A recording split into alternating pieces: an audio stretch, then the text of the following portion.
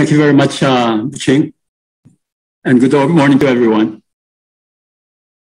Let me first acknowledge uh, the president of PASCOM, Dr. Cherry Bernardo Lazaro, and of course the executive director, uh, Dr. Arcadio, and uh, de la Paz, who gave the tribute to uh, Dr. Fernando Sanchez. Uh, well, I feel honored and humbled actually to be speaking to you today. And uh, I was a bit taken aback when Cherry said that uh, my scheduled talk today would actually be the third Fernando Sanchez uh, memorial lecture. But I think, you know, this opportunity actually gives a very good uh, time to connect the dots. I've attended uh, not all, but certainly the first and I think the fourth session of the PASCOM sessions, particularly the, the fourth one where Buching spoke. And really, in my mind, a lot of things have come together. And even the title of my talk, which goes and talks about the Southeast Asia, is, is almost is really coincidental to all of this. And therefore, I'm very cognizant that I'm speaking to a young generation of, of social reformers in PASCOM. I guess the, the older generation, and that's composed of uh, Nanding Sanchez, of course, Buching, uh, the previous presidents, uh, Georgina Paredes, who, you know, I've never had the pleasure of actually encountering in deep conversation. And uh, the senior members of PASCOM, they're the old generation. But there's a new generation that has to step up. And I guess my talk is really focused on them, reflecting on the past as Buching and Dr. Arcadio have done, and even Belen has done, and you know, reflecting on the future.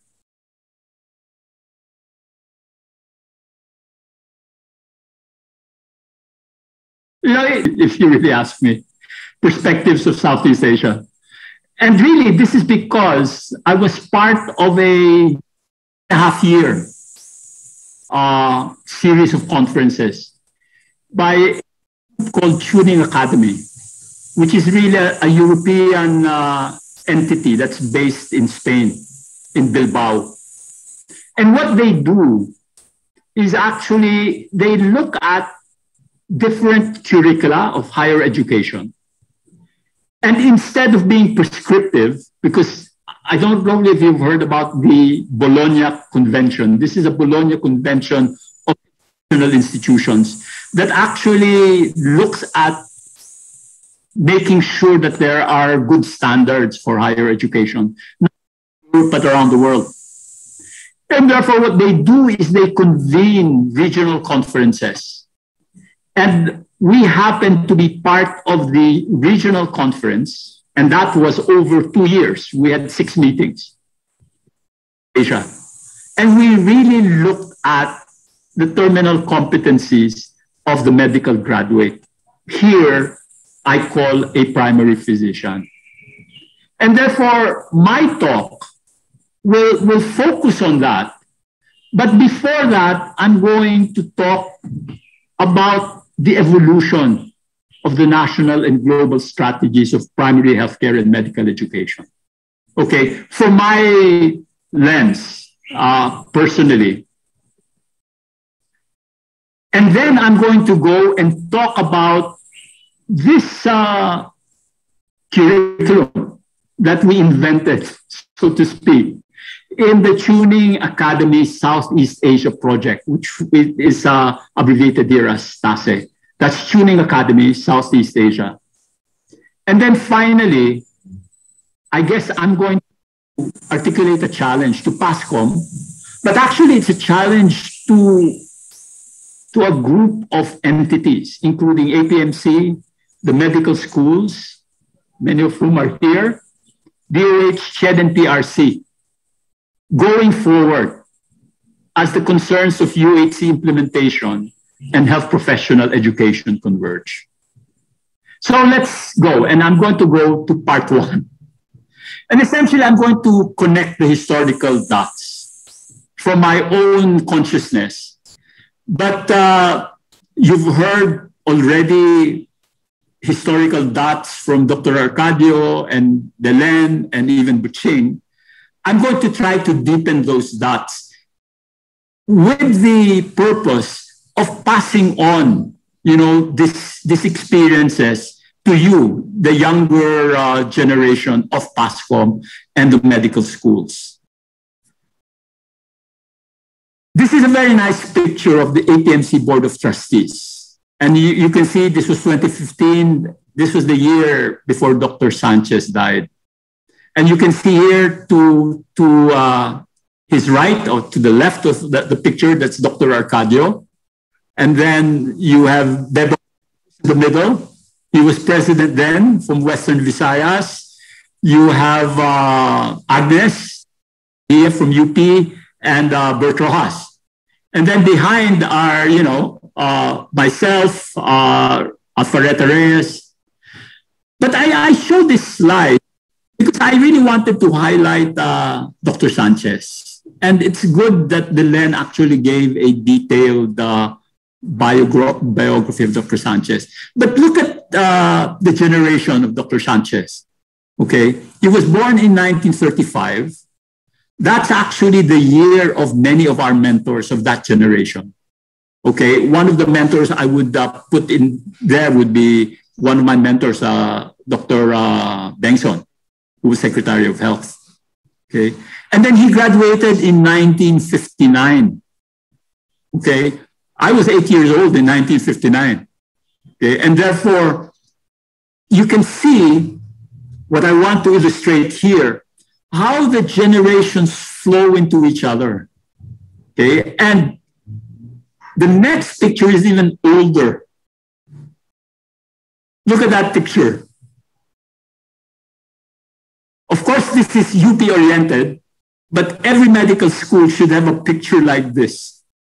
This is a picture taken in 1930, 1955.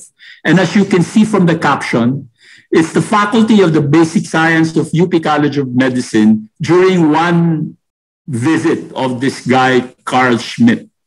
Okay. But I have put in there key personalities. One on the top, do you know that who that is? That's Dr. Jose Cuyegkeng. This was 1955. And remember, I think what happened shortly after this was Dr. Cuyegkeng eventually left UP and became one of the pillars in the establishment of UERM.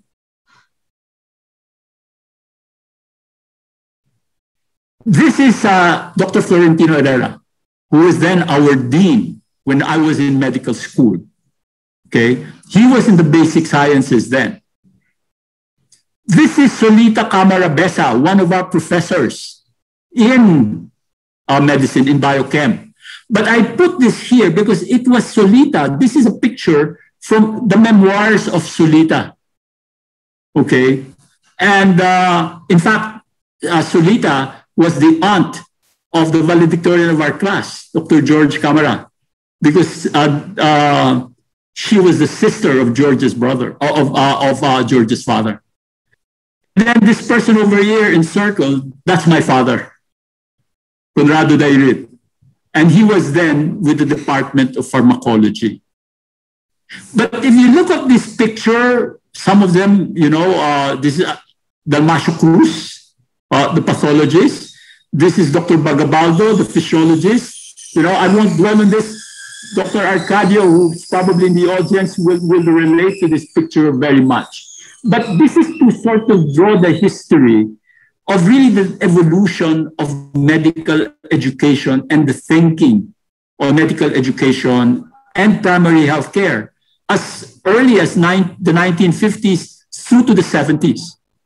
Now, in my readings, and when I was reading uh, the memoirs of Solita, this is what I found.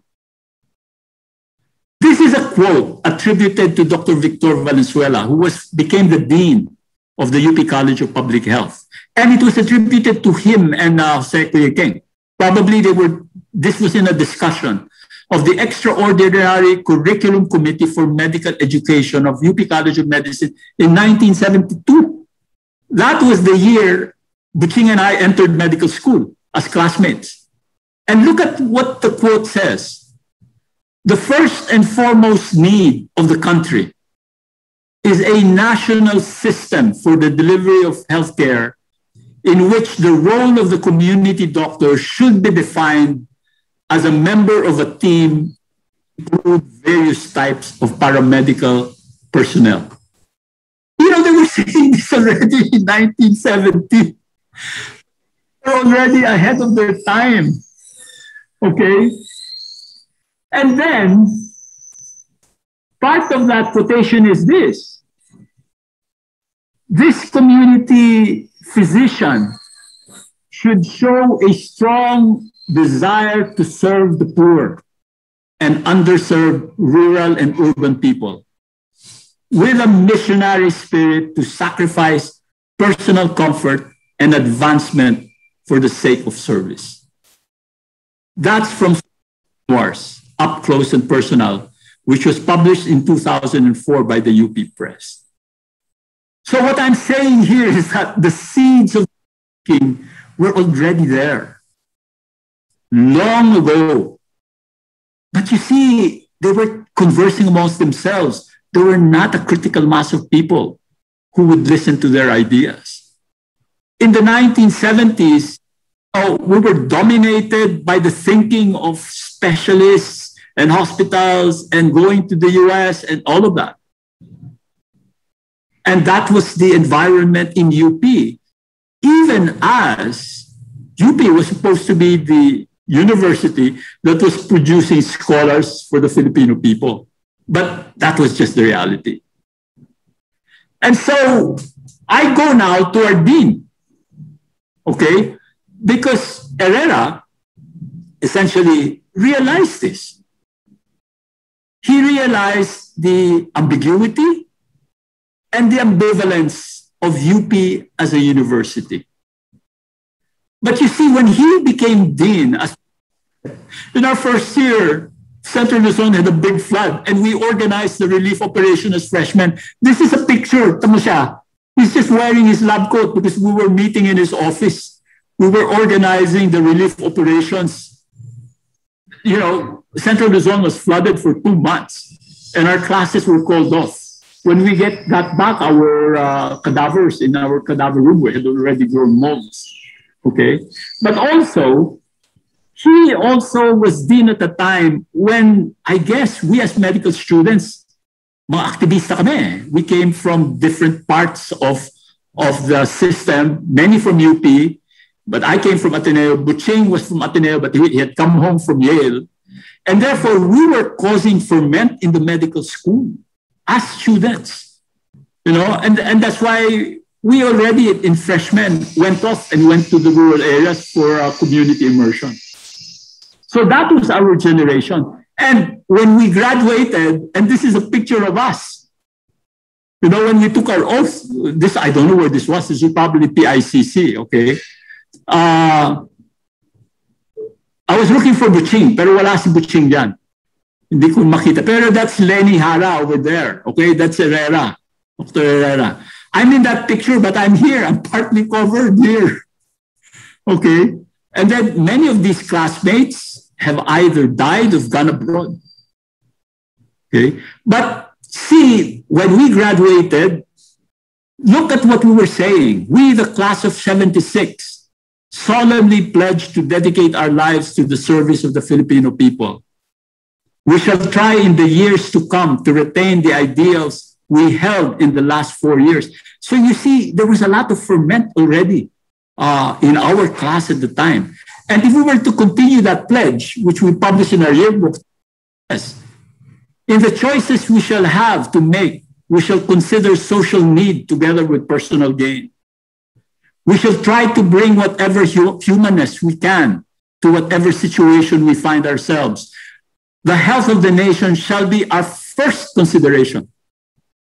We commit ourselves to the work of a healthcare delivery system which can provide adequate health for the majority of the people. We shall maintain the utmost respect for human life. We shall not use our medical knowledge contrary to the laws of humanity. We shall maintain by all means in our power the honor and the noble traditions of the medical profession. We shall strive to maintain excellence in our work, excellence adapted to the concrete conditions of our country. Note that concrete conditions that comes from a lot of our activist uh, language then. We shall give to our teachers the respect and gratitude which is their due. We in turn shall consider it our duty to teach those who come after us. We shall consider the health education of our people as our responsibility.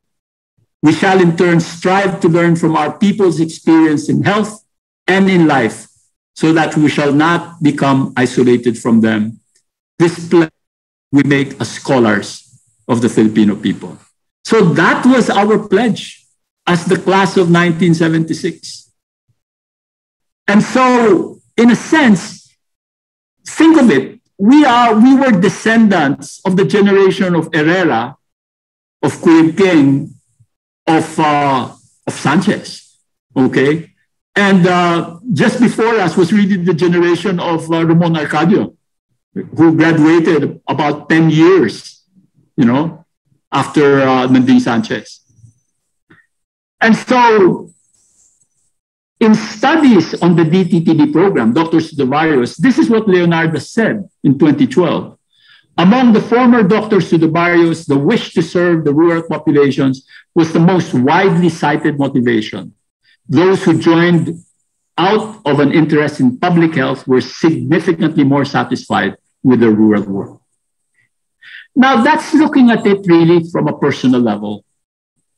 Okay, and uh, even as we went out and you know we were able to serve and we felt fulfilled, really the goal is you know to restructure the system. That's really the unfinished business. And we will go into that, you know, in the later parts of this talk. But I just want to show this, okay? These are pictures from our yearbook, uh, which we just published in our 40th year. Oh, this is Buching, okay? And look at what's in Buching. Oh, for 10 years, I was part of the Igorot people's struggle. He was in the Cordilleras. Okay, and then he went back to UP and eventually taught. Okay, and eventually became part of, you know, all of those critical milestones that led to the UHC law. Okay, and of course, this is Bobby de La Paz. And this is a write-up of Buching and his wife and, and the, the wife of Bobby, Sylvia. You know, Bobby was shut down in northern Samar, eh, in, in western Samar, no? in Catbalogan in what, in 1982. Okay, so as this write-up says, he had dreams for the country, and for this, his life was cut short by bullets. Still, he lived a life heavier than a mountain. Bobby. So this was our tribute to them. But you know, we had a lot of other classmates, and I, will just show you two more. You know, uh, Lenny. Okay, Lenny did her community pediatrics uh, residency, and essentially, Lenny actually spent her life organizing and you know keeping alive. You know, the community-based health program, that network. Okay, and this is of course Al Paro, who went to Davao with us and of course, Al really went into industrial duty, you might say, on human rights. And in this case, you know, uh, trying to find, as she says here, transitional justice for the wrongs of martial law. Okay. And so, you know, these were the likes of our generation who went out and, and you know, tried to reform, you might say, uh, what we could. And so this is me. Okay. I went out. I actually stayed in Mindanao for 10 years. But for a solid four years, I was actually working in the villages. And this is a picture of me working. At this time, Ellery was, was also with me. And I was doing a number of things there. So I was teaching, I, I was working in the communities, and uh, I was also teaching in the Davao Medical School, and I was coordinating the Mindanao-wide community-based program. So it was really very, very I guess, also developmental work. Um, I taught the first five batches of DMSF uh, graduates, some of whom also became social and catalysts in their own area. Okay, but and then who would know that uh, years, years later, uh, I would become Secretary of Health. Okay, but I put this picture really not to focus on the fact that I became Secretary of Health, but really to plant the seed that like people like us should eventually end up in that job. Because that's a position of power. You can really do reform.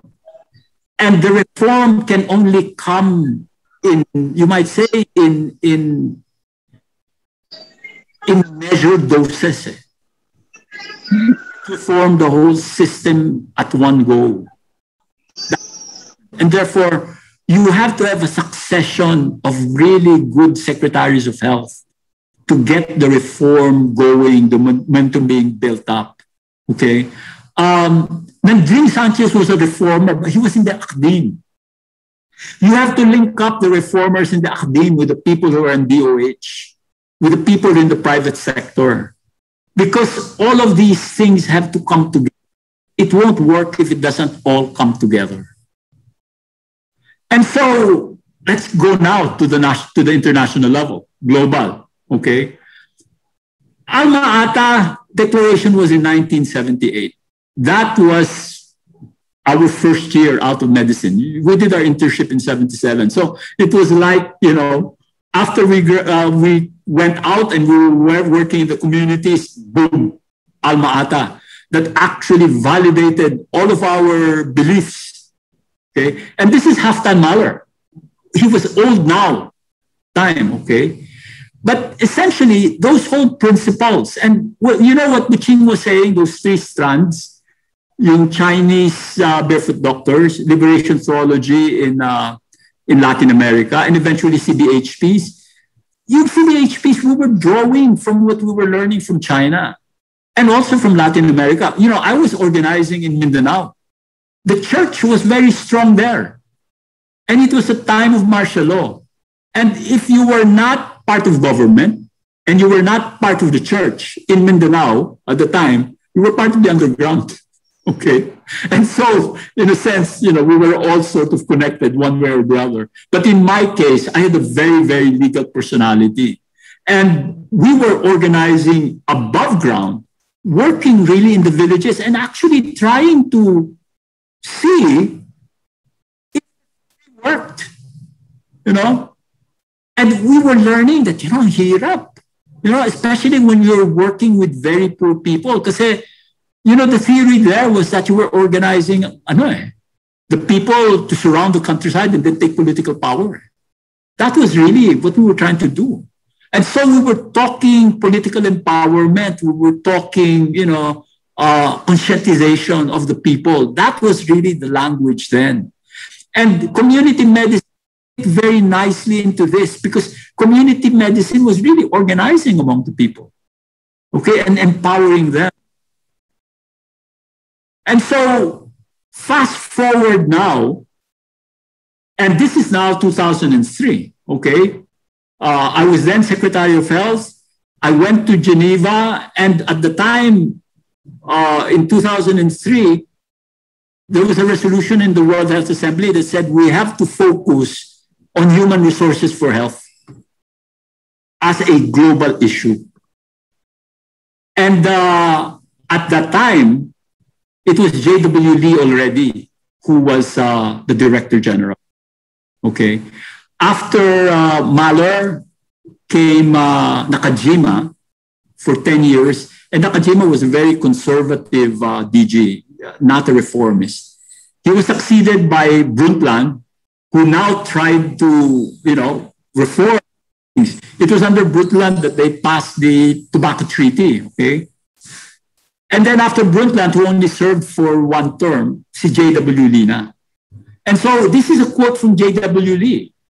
We need to ensure access to motivated, skilled, and supported health workers by every person in every village, everywhere. That's not just Philippines, huh? that's everywhere, Asia, Africa, because the global crisis in human resources had become quite evident. And that was put on the global agenda in 2004 with a resolution. And in 2006, this came out. Actually, I was I was the person that helped organize this when I was already director of the Department of Human Resources for Health, because that came under my watch. Okay. And uh, we worked with uh, a lot of experts globally and also with the WHO Secretariat and came out with this document. It's available in the website. You can look at it. But it actually then dissects the issues of the health and then J.W. Lee died in 2006 and Margaret Chan took over. Si Margaret Chan, eto na. This is when China was then trying to assert its influence on WHO. And Margaret Chan was a perfect candidate, you know. She was Chinese, but she had uh, Canadian citizenship. She worked in Hong Kong as a uh, the director of uh, health operations there. And it was during the time of Margaret Chan that this document was produced in 2008. And in 2008, that was the 30 year anniversary of PHC, and they created this, really this wonderful document that pieced together how UHC came together, but this time using a health systems and people oriented lens. Because during the time of Mahler, we didn't know how to operationalize PHC people didn't know how do you operationalize people empowerment? You know people's participation. How do you then reform the medical schools? So at the time uh, it took 30 years you know to sort of sort that out. This document came out in 2008 and this is margaret chan you know just repeating the primary healthcare mantra I believe we will not be able to reach the health related MDGs unless we turn to the values, principles, and approaches of primary healthcare. Those principles and approaches, that's enshrined in the PASCOM six pillars that you actually had. Okay, if I were to, to connect that dot, and I will show that slide again. And so in 2010, and this was probably the culmination of my time there in uh, Geneva, we were able to pass the WHO code for the practice uh, for the code of practice on international recruitment. And essentially what the code just said was said was developed countries don't poach on the health workers of poor countries. That's essentially what this code says. And you know, you have to support the development of health workers in poor countries you know, the Philippines was sort of in the middle of this, you know, but the, the, the Philippines didn't support this, you know, officially. Because at the time, 2004, ang policy ng Philippines talaga was ano eh, send health workers abroad. Our economy that was producing, you know, our system, our education system that was producing a lot of workers, Department of Labor natin, export. That was really the, you know, the, in a sense, the ambiguity I was sort of, uh, you know, pushing this, but really the, the Philippine delegation, and, you know, we were friends, okay, officially, they did not uh, participate in any of the debates that eventually came out of this. They were just quiet and listening. And so this was passed by the World Health Assembly. And so that, that's part, that's, that's the only second treaty. Uh, this, this is only the second uh, resolution, which is soft law, as they say. It's not a treaty like the Tobacco Code, which is a treaty. This is more like uh, soft law, okay? Uh, you might say an instrument that persuades rather than directs. And so with that in place, the other things that were happening in, Geneva, in, in, the, in the global area at the time was See, 2010, okay, we passed the code in May of 2010. In December of 2010, Lancet Commission came out with this. You know, the persons that were behind the Lancet Commission were also the same people we were talking to in Geneva regarding human resources for health and how to move the global agenda forward. And so these are people like uh, Julio Frenk and Lincoln Chen. I was, you know, I was actually invited to be part of this commission as a personal note, but I couldn't kasi may politika nun yung ano, yung WHO at saka yung mga ibang global players. So because I, I was a WHO employee, I, I, I kept my distance. But, you know, I was at the launching of this report at Harvard, you know, in 2010, because Julio Frenk was already then the dean of the Harvard Medical School. But as you can see, it's the same mantra a slow burning crisis emerging, mismatch of professional competencies to patient and population priorities because of fragmentary, outdated, and static curricula, producing ill equipped graduates from underfinanced institutions. Okay?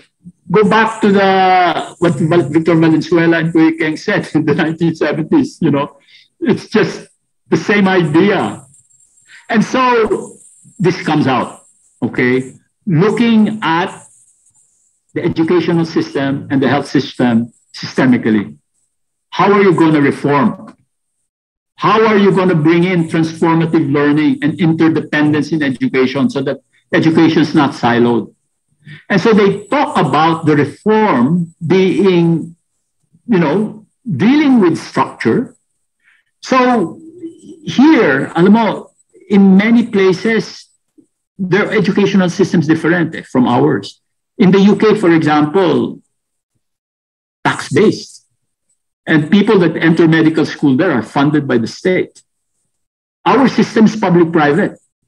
Okay, so a lot of private institutions create, you know, their graduates really based on the vision of that private institution.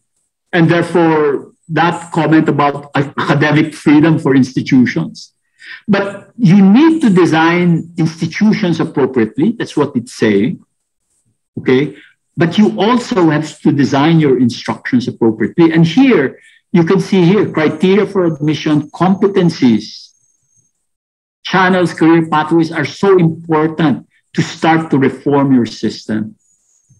And this is really what we have to put our minds to.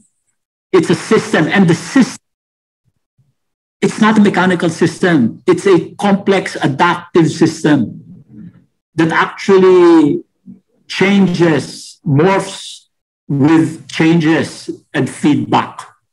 Okay. And actually, ironically, can be set back by things. Like, for example, local government code, high flown principles of empowerment at the local government level and see how that has created chaos, you know, in your healthcare delivery system with a very, very noble goal. So really thinking these things through, and you know, you can't predict it. And so if I were to just quote from this, because it's very beautiful, the text, okay, and you have to lean close to your screen, but I'm going to read from it, okay? Transformative learning is the proposed outcome of instructional reforms. Interdependence in education should result from institutional reforms. On the basis of these core notions, the Commission offers a series of specific recommendations to improve systems performance. One, instructional reform should adopt competency-driven approaches to instructional design adapt these competencies to rapidly changing local conditions, drawing on global resources. Promote interprofessional and transprofessional education that breaks down professional silos while enhancing collaborative and non-hierarchical relationship in effective teams. Exploit the power of information technology for learning. Strengthen educational resources with special emphasis on faculty development and promote a new professionalism that uses competencies as objectives criteria for classification of health professionals and that develops a common set of values around social accountability. Institutional reform should establish in every country joint education and health planning mechanisms that take into account crucial dimensions such as social origin, age distribution, gender composition of the health workforce, expand academic centers to academic systems, encompassing networks of hospitals and primary care units, linked together through global networks, alliances, and consortia, and nurture a culture of critical inquiry. That's a mouthful.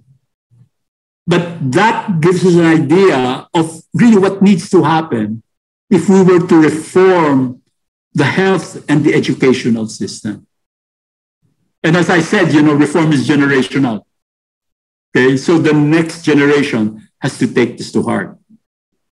So at the same time that was going on in 2010, another group naman was working on the social accountability principles. Ito naman yung grupo ni Boelen at saka ni Woollard. Okay? But if you look at this, they, they try to put on paper also a global consensus. Now, si Boelen had worked with WHO. Okay? And he was one of the director, uh, he was one of the coordinators in the in in the then department for you know sort of manpower development that, that was the name at the time and when he left who he pursued this agenda this vision to try to bring social accountability to the medical schools and and so if you look at the directions anticipating society's needs partnering with health systems you know the language is there adapting evolving roles of doctors because, you know, the, the roles of doctors have not really evolved from the 20th century, and I'll explain that more. Fostering outcome-based education. I use that synonymously with competency-based. Think of it as the terminal competencies. Creating responsive governance in medical schools. So, you know, the deans are so important here, and the trustees. Refining scope of standards, supporting continuous quality improvement, mechanisms for accreditation because you want some, you know, way of quality control. And then, of course, bringing in global principles and defining the role of society in, you might say, even the development of that medical school. So you can see here an integration between the health sector, education sector, the society, even the global community. This is really what it's all about when you're thinking about connecting these dots. And therefore, we go to our local situation, CHED Memo 2016. Okay. Note, that was six years after the commission, after all of those global developments, putting HRH on the table. Okay. And when you think of it, these are sort of uh, profound outcomes, but they're not really, you know, find uh, deeper. Okay. Uh, but the words are all there. Okay.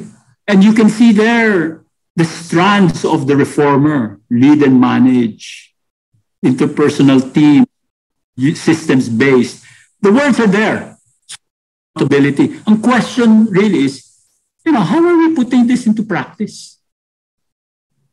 That's really, you know, what kind of physician are we developing? Or are we, is this just lip, lip service? That's really the question we have to ask ourselves. And so, ah, the PHC pillars and the PASCOM course, uh, you know, uh, pillars, outcomes. Look, the words are all there as well. The right to health, social determinants. This was a report that came out in 2008. was a companion piece to that WHO primary healthcare report primary healthcare approach. Again, recalling Alma Ata. Community participation, which is one of the principles of Alma Ata. And then health systems. That's a later concept, you know, in 2000, when they now started looking at uh, health in terms of systems. And then, of course, here, primary care, okay, as one component of primary healthcare, because the primary care level was one of the weakest in the whole health system there. It's the question of, you know, making it come together. Now, a little bit more, and this is Buching's slide, uh, just to reemphasize it, okay? How this is now embedded in the UHC law. So we've made progress. It's now in the law, which has to be implemented. Okay, so we're, we're in a good place in terms of the documentation. And then here, uh, going back to Buching's lecture last week, how to produce a healthcare practitioner. Okay, so there was a question there, how are we're going to change the CHED memo, you know, change the words, okay, and move into these words. But the thing is, we have to be sure what's underneath those words. And so with that, I'll move now. And, you know, this is just one example now, Kuching kay Hari Hamoy, that, you know, many doctors don't think like this. That aside from, you know, treating patients, that you're thinking about, you know, how your patients are going to find access to care. You know, that's a very different skill. And so my takeaway from part one, the seeds of system-based thinking in medical education were emerging in the 1970s, as shown by the quotation of Victor Valenzuela Quilkeng and the work of Herrera. It was Herrera, I'm missaying this, it was Herrera that actually set up the UP Institute of Health Sciences, which was renamed to School of Health Sciences, because of this ambiguity and uh, ambivalence that he felt. That many UP graduates were all going to be, you know, many, a large proportion, at least 50%. And during the 60s, 60, 70, 80% of UP graduates were going to the States. And then it was, that's why he set up UP Tacloban. Okay, and he had partners to do that. Okay. So they were planting seeds. Okay. And as Mon Arcadio said, UP School of Health Sciences is now growing, is now in Baler and in Coronadal. Okay. But so the challenge of medical education today is to build on the science-based, problem-based approaches of the 20th century towards the system-based approaches needed in the first 21st century. Because really, we are all trained as doctors to be science based and problem based when you think about the evolution of medical education. But what you know the social reformers are saying is that you have to build on that and be systems based. So are our doctors thinking that way? Or are the majority still 20th century? Because you can be stuck in the 20th century. There, there's a lot to do with science based and problem based. There's a lot to do. So I'll move now to part two. And here, I'm just going to try to talk about the, you know, what happened in this TASE project, okay? Because it gives you an idea also of what was the thinking in other countries in Southeast Asia. But you see, so these are slides that we made for that. Learning and working together for better medical education the ASEAN. You know, okay, so what's really, what's better medical education in the ASEAN? So what are the medical educators in the ASEAN? Now, this is our group, okay, just to give you an idea of who we were, okay? Pero as I said, there were three representatives from the Philippines. Myself, and then uh, Western Visayas State. This is Lynn Al- Alcala, who is one of the, she's a medical educator there. And then it's si, ano, si Remy. She's University of San, San Agustin, okay? How we were selected, you know, I don't know. May mga contacts ng Bilbao. Pero look at the other members, okay? There were members from Malaysia. There were members marami from, uh, just follow my cursor, from Cambodia, Myanmar, Indonesia, Vietnam.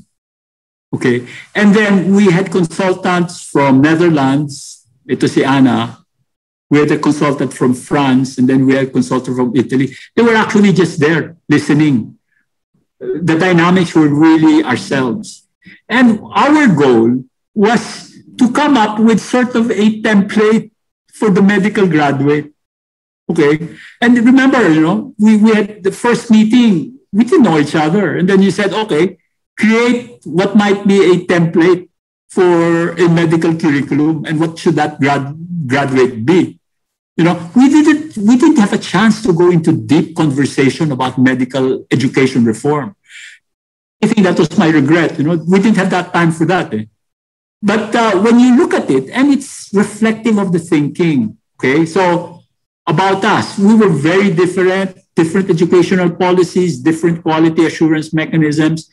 The curricula were different. You know, iba yung Pilipinas, iba yung Malaysia, iba yung Vietnam. Okay, so we had to somehow come together and agree on competencies. Okay, and come out with what, you know, would be a doctor, a physician, a primary health care physician. Okay, and so there's a few tuning methodology, sorry, for this, okay, which was, as I said, already developed and so tuning applied it. And this is how that the methodology works, okay? Essentially, you you look at learning outcomes and competencies. You start from there. And then you look at your curricula. In our case, we looked at existing curricula because you could actually develop a whole new curricula based on the competencies that you have. And then from there, you you determine your teaching and learning approaches. You know, this is not far from what sila DFW are teaching in, uh, you know, in medical education. And then select types of assessment and evaluate. So in, in, in tuning, in our six meetings, then we were able to go up to somehow here. We, we couldn't go the full cycle, okay? And uh, we were asked to actually look at the competencies based on our own curricula. And this is what I'm going to tell you about. Okay. So we define the competencies, we look at the, the degree program. So, for example, the competencies that we had, you now say, are these embedded in the existing curricula of your medical school? And we all had to go through that exercise. And then also ask about how you're implementing it. So this is the iterative process of the tuning. But the whole idea is you have to have a student-centered curriculum where you consult, you profile, you know, competencies, you design your curriculum, you evaluate it, you enhance it, and so on and so forth. So really, this is the type of cycle that medical schools in the country can do now. You can consult, you can profile your, the competencies, you look at the, the curriculum that your schools have established. What have they been designed for? What are the, what are the competencies that your graduates are producing? And how do you actually evaluate that they have those competencies? So with that, again, another way of looking at it, we develop what we call the meta profile. This is sort of the super profile for Southeast Asia. And I'm going to go through that in the next few slides. Okay. What were the competencies that we came up with? Now, the thing is, when we had this conference, we worked together with not only medical educators or physicians, we were also with engineering and teacher training. So they asked us, what are the generic competencies for all of your disciplines? And this is what they were. Ability to work collaboratively, okay, and in, in, in different contexts. That's a generic competency for medicine, engineering, and teacher training. And I'll just go down the line. There are 14 or 13 of this. Ability to use information and communication technology purposefully and responsibly. Ability to uphold professional, moral, and ethical standards. Ability to demonstrate responsibility and accountability towards society and environment.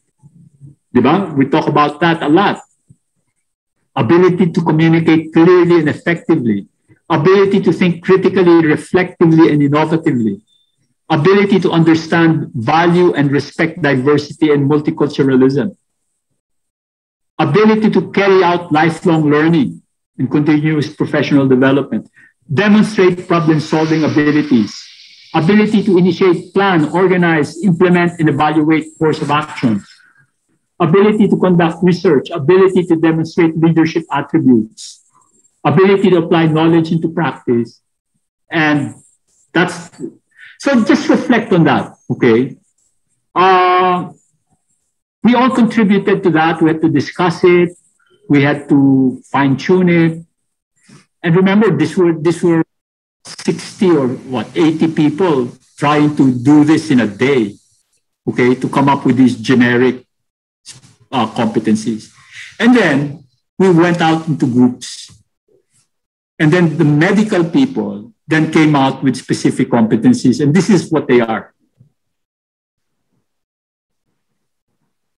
Wait, I'm trying to move. Okay, there. Ability to practice according to various clinical settings. I can't, I can't see all of the things. Eh. Ability to appropriately perform history taking. Pakikikita niyo dito yung pagka-doktor talaga ng grupo. Ability to perform physical education uh, examination. Yung mga clinical lumabas dito. Integrate clinical workup to make diagnosis and differential diagnosis. Appropriate therapy and psychosocial approach explain benefit and risk in therapeutic options. Very, very clinical, ano? Ability to perform consultation with patients and family and family with empathy. Ability to manage medical records. To ensure and maintain patient safety. Promote health, dito na yung lumalalim. Health and preventive medicine. Address public concerns and controversial issues related to health. Ability to demonstrate a balanced dedication to serve interests of individual patient, and commitment to social justice and the common good, and ability to recognize and estimate health risks and healthcare needs of a defined population, particularly of vulnerable groups. If you think of that, it's not too profound. This is a very 20th century terms of reference that looks at science-based education and problem-based education. It's not a reformer's uh, terms of reference. Okay? And if we, uh, if I had to go back to that tuning discussion, I would have wanted to have this discussion with the Malaysians, the Vietnamese, the Cambodians, and Laos, and Myanmar. Pero at the time, ano eh, par- parang we didn't have the bonding to go that deeply eh. Kasi iba yung mga, ano eh, political systems nila eh. And like, for example, the people in Myanmar, with all of the suppression going there now, you know, medical educators don't think as reformers there. They're just trying to follow what the military says. Or, or you know. So this is what we came up with. And then what we did was then we created a diagram for that, which is the which is this, yan meta profile. And if you look at it, the meta profile the competencies around these four areas, knowledge and skills, communication, ethics and professionalization, and quality assurance. This is the term that they wanted to use. Okay. But these competencies surround, you might say, the goal for all of them, which is the patient and the family, community, and population care. So if you just look at the specific 11, yung, the ones that are more population as well as individual based, tignan mo. Promote health and preventive medicine, which is there recognize and address public concerns and con- controversial issues related to health, recognize and estimate health risks, costs, define population, particularly of vulnerable groups, demonstrate a balanced dedication to serve the interests of the individual patient and the community commitment to social justice and the common good. Actually, you know, these are not cast in stone. And PASCOM can create a profile a meta profile of all Philippine medical schools and see what you come out with. But you can see at the middle of that, particularly for that Southeast Asia group, ensure patient safety. Very, very patient oriented, the middle. Okay. And then you can see, you know, I won't go through all of it, but it gives you an idea that these are the general domains of the competencies. But the knowledge and skills observation is really very clinical, very science based. You're, you're not talking, you're teasing out the domain of leadership, of social reform, of social catalysis, which is really what changing the system is all about. And so when you look at this, we even looked at, uh, no, we did statistics, okay? We looked at the importance of the competencies and whether they were being achieved. And this was done. And we did surveys of students. And this is what they said, okay? Very high importance of the generic competencies, high achievement in the upper levels. But look at here. Oh. The, the students don't think that they were getting this as much. You know, the leadership part, the communication part. All of these mas mababa in their in their estimation. If you're thinking about trying to draw a correlation between what is important and what is being achieved. I'll show you two more examples. This is generic competencies naman from the point of view of employers. Pag sinabing employers, mga hospital directors, people that employ doctors in corporations. Look at this. Same. Mataas dito, but the employers don't think that it's being achieved. They all think they're important, but they don't think they're being achieved as well. Okay, and then look at this. Generic competence competencies by the graduates. Okay, and this is the one that's highlighted here.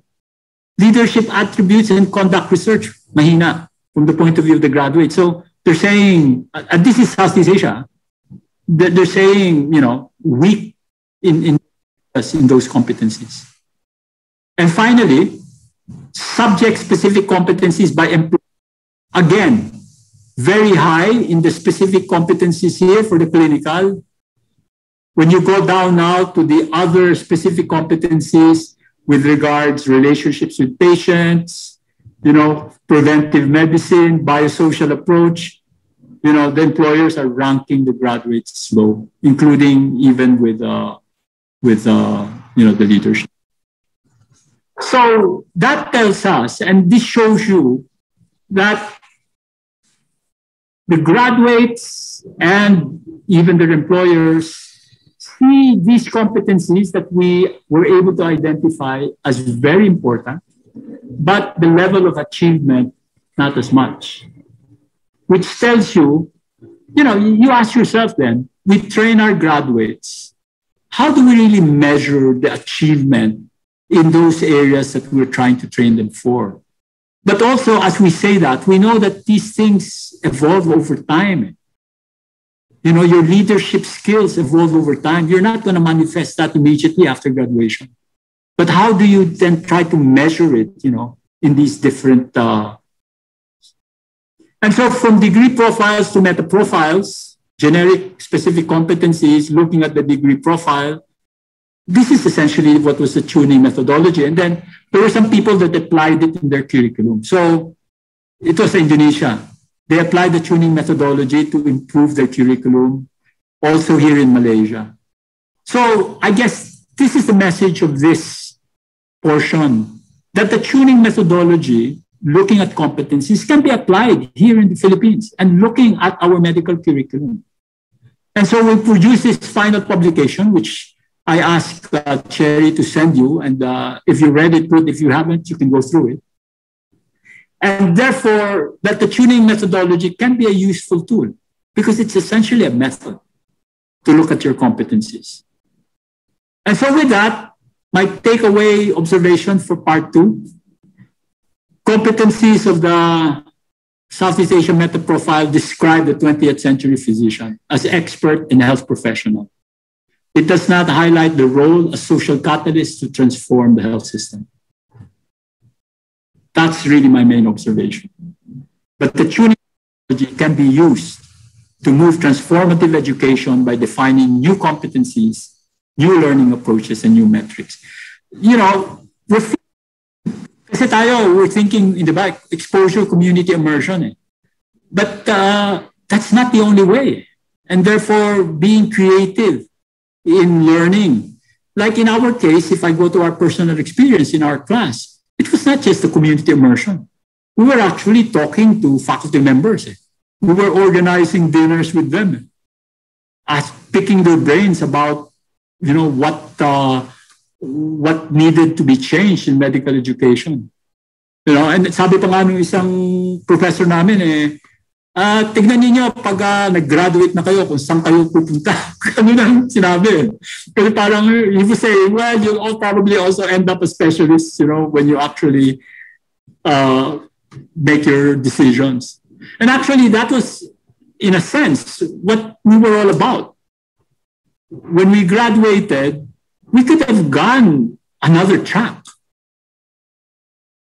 Okay, but we said, okay, this is the track that we will go to because this is the track that we feel, you know, is needed at this time. And that's where we ended up. With that, we go to part three, and this is the shortest part because it's a challenge to, to all of us. Okay. And I go to this because it's really, I just want to highlight this. Looking at the curricula, the structure, and really engaging CHED. You know, CHED as a regulatory agency, it's basically reactive. You know, there, are no visionaries there. They're essentially just saying, okay, this is the basic, okay? And as long as the medical schools fulfill the basic, good enough. We'll accredit, we'll, we'll uh, give you a license. So even within government, you have to have visionaries. And therefore, you have to have people to step up in these positions of leadership if you're going to make any structural changes. And so this is just another way of saying that if the goal is transformative, interdependent education, this is what we have to do. Mobilize leadership, enhance investments, align accreditation, strengthen global learning. And we have to get people who think this way. So in a sense, uh, was it that who just said it? Uh, was it Leah or was it Dr. Arcadio? It's one thing creating a community or oriented medical school. It's another, another thing ensuring that your, your graduates actually go out and practice that community orientation. But it's a slow process because not everybody buys into the ideas anyway. Because you can just so be so busy during the sciences, science-based part of your uh, specialization. So the challenge to PASCOM, catalyze the development of curriculum, learning activities, metrics for transformative medical education in the country, and establish the PHC pillars within the fabric of medical education in this country. So uh, this is my last slide, summary. So while system-based change to transform medical education was articulated in the Lancet Commission, seeds of this idea were being planted in the Philippines in the 1970s. However, the 20th century approach to medical education, which is science-based and problem-based, are well maintained despite its inability to address the shortcomings of the health system. That's what we're all saying. This seems the case not only in the Philippines, but in other countries. Our challenge is to build on the achievements of the 20th century and transform medical education in the first 21st century where systemic thinking, dynamic leadership, and social reform should change ineffective ways to truly realize better health outcomes for all. Thank you very much.